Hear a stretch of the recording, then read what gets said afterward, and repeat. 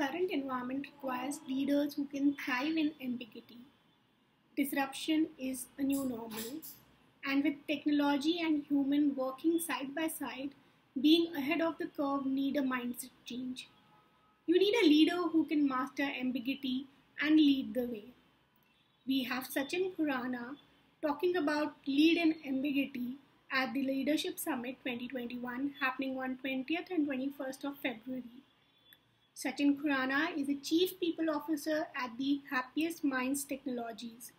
He is also a part of the Happiest Minds global management team and before this role he was the global head of HR at OSS Cube Solutions which Happiest Minds later acquired in 2017.